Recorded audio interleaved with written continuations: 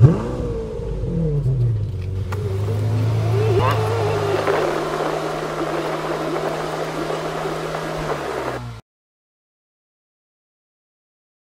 right. Uh, we got brother Dale S. Jr. What's going on? How you doing, brother Ben X? Uh, just just kind of add to the topic.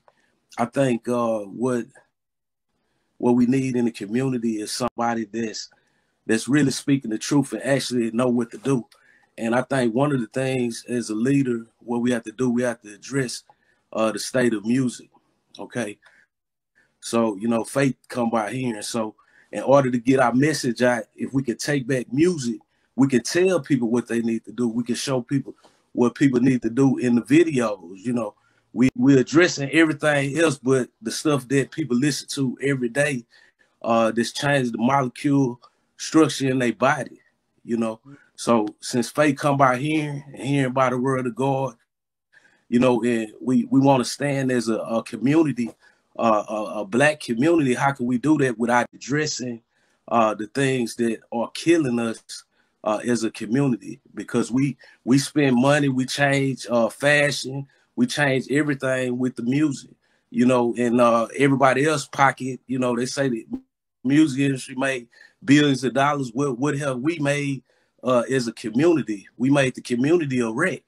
You know, so that's that's the main one of the main things that we need to address right now. And, and what would be the best way to address the music? The, the, the best way to, to I think to address the music is uh, people like you. You do music. Everybody that's that's more on a a, a spiritual uh, level.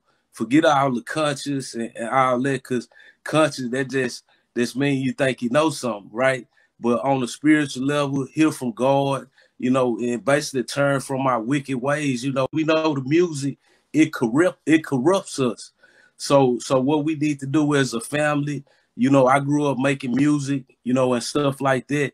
But uh brothers like you will stand behind your project, you know, show let's show others how to really put a, a project with the videos just because you you spiritual, you believe in God, that don't mean that your video you have to be rapping or singing by a tree. You know, we got nice cars too. So, you know, and if God was down here, yeah, he'd probably be in a, a Bentley uh driving through the streets. So uh, you know, if we if the uh youth see uh that it's okay to be righteous, you know, in videos and music, then I, I think we can touch the people. You know, what what you think, Ben? Man, I, I, man, listen. The minister says, uh, one rap song is worth more than a, a thousand sermons. So I, I definitely believe that the music is uh is important because that's what the youth is jamming. Uh, they're gonna be able to remember a a, a, a song uh better than they'll remember a lecture. The lecture may have dropped all kind of gems in truth, but what's in that song is gonna get them. Um, I, also, I also think that us as adults need to find ways to break down the music for them. So when you're hearing certain music from 2 Chainz or Lil Baby or something of that nature, how can we utilize it uh, to teach them maybe a principle? So yeah, they're not selling drugs, but maybe we can teach in the song if they like it how to sell a product, their own righteous product, because the scripture says not what goes in the man uh, in a man that defiles them, it's what comes out. So we all gonna hear filth. We all, I mean, no matter what, man, we whether if it's from your parents, from the radio, from the TV, from the movies, we can't control what's pushing through the TV, but we can control how I digest it. We can control how I see it and from the perspective and principles that I'm gonna take. So you may have been successful in the streets, but I'm gonna use them same principle and be successful in business. So uh, bringing them up to a high level of thinking, I think it's also important until we able to, if this even possible, to eliminate the filth that is coming through the through the radios and and the music and things of that nature well, we, we have to agree that definitely life is in the power of the tongue. So every time they jamming their rap song, it's, it's getting dangerous and dangerous. You know, uh, this this young generation so so disrespectful. You know, in one song they say they go sleep with your wife, your girlfriend, your baby mom. You know, all in one, one song. So uh, as as we address this with our seriousness, you know, we we need to understand that like the, the time is now.